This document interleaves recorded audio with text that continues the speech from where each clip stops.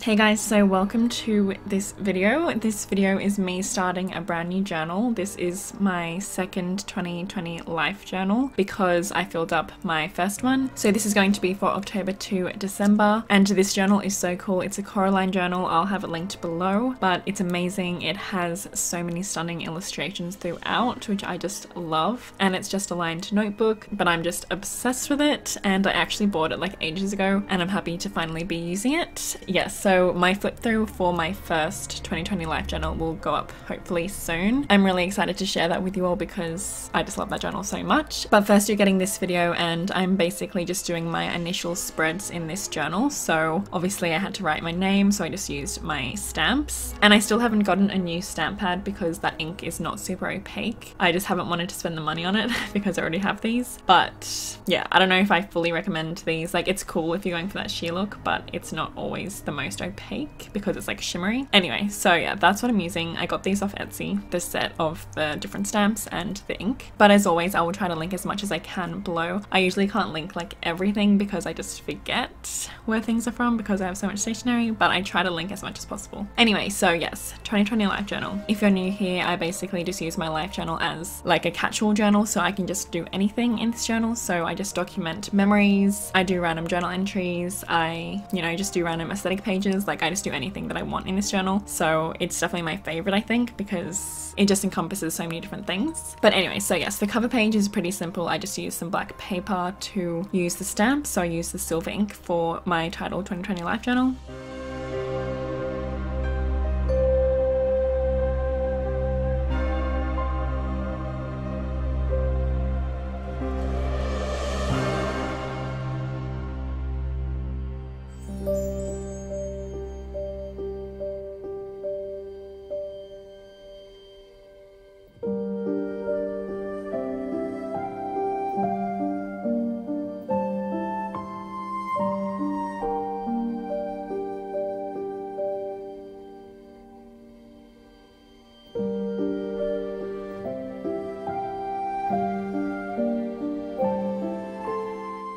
And then I wrote started and completed. So obviously I started on the 9th of October and when I finish the journal, I'll put that date in. So now I'm just working on my October title page. So instead of gluing in the black paper first, I decided to work on it outside of my journal because the stamp ink was still drying. So I didn't want to flip over the page. Anyway, so I'm using this black piece of paper to do the title and I just wrote October with my white gel pen and then drew a little knife with some blood dripping using my Uni Posca pen.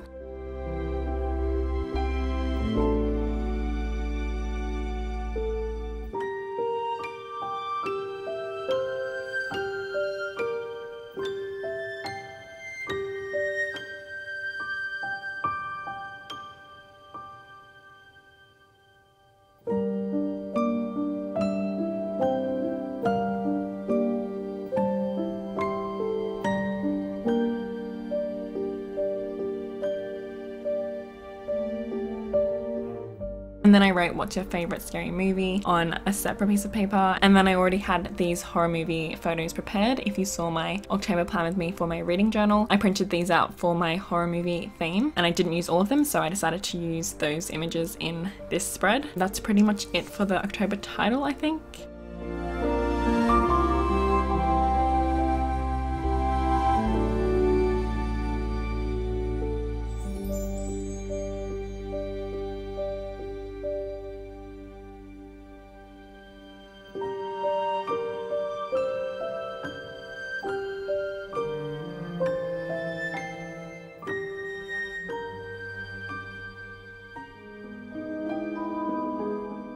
Oh, I also added some washi tape and now I think it's pretty much it.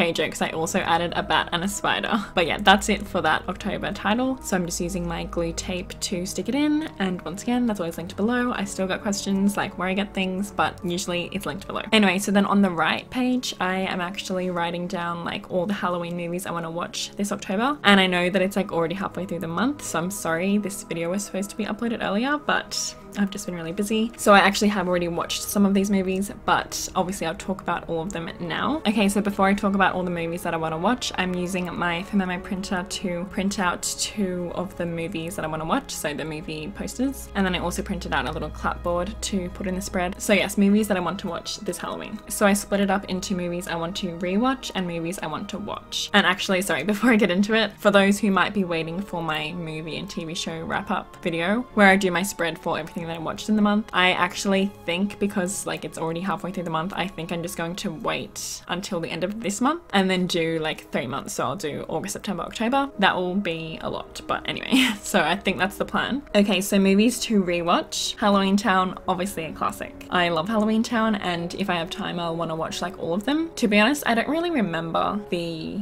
third and fourth. I believe there's four, right? I think there's four. I don't really remember the third and fourth. I think I definitely did watch them when I was little, but I don't really remember them. I know that the actress from Aquamarine is in it, so that's really cool. But yeah, I don't fully remember, so I really do want to rewatch those. But I did actually rewatch Halloween Town and Halloween Town High, I think in August. So I have rewatched them pretty recently, but I just love them. And of course, you know, Halloween Town is just a classic. So yes, Halloween Town. Twitches, probably my favorite Halloween movie. Like I love, love, love Twitches. Twitches truly is the best movie of all time. like it is so so good. And every time I rewatch it, I'm just blown away by how amazing it is. Like I was obsessed with it when I was younger and I'm still obsessed with it now. Like it is truly just such a good movie. It's just the best. So of course Twitches. and then Hocus Pocus. Absolutely love Hocus Pocus. Another classic. So that is of course one I want to rewatch. And then The Nightmare Before Christmas. Again, another classic. And it's one of my absolute favorite movies. So, you know, of course. So then I have some movies to watch. So these are all movies that I haven't watched yet. So a lot of of these I actually got from the channel Possessed by Horror. I've been watching her channel recently and she talks about and reviews different horror movies. And she recently, sorry, I can't remember her name at the moment, but she recently uploaded a video talking about underrated Halloween movies. So that is where a lot of these movies are from. They're from that recommendation video. Anyway, so Halloween. I actually have never seen the movie Halloween, which is kind of shocking. But yeah, I've never watched it. I don't know why I haven't watched it. I feel like people didn't really talk about it when I was growing up. So anyway, I really want to watch that. Then I want to watch The Houses October Built, which I think is a found footage movie. Hell House LLC, Rob Zombie's Halloween, which I believe is like a reimagining of the original Halloween movie. So I'll watch that after Halloween. And then Trick or Treat, Terrifier, Ginger Snaps, May, which is apparently a werewolf movie movie, so that makes me excited. Haunt and then 31. So yes, those are the movies. I don't know if I'll be able to watch them all, probably not during October, but nonetheless, I still want to watch these movies eventually. So these are the movies that I put on my Halloween to watch list. But actually, I think there are some missing because I want to watch, for example, Paranorman. That is a movie that I want to watch. Apparently that's a really cute classic Halloween movie, but I would love to know your like favorite Halloween movies or movies that you want to watch this Halloween. And yeah, I just always love talking about horror movies and spooky movies. I just love it all. So I would love to hear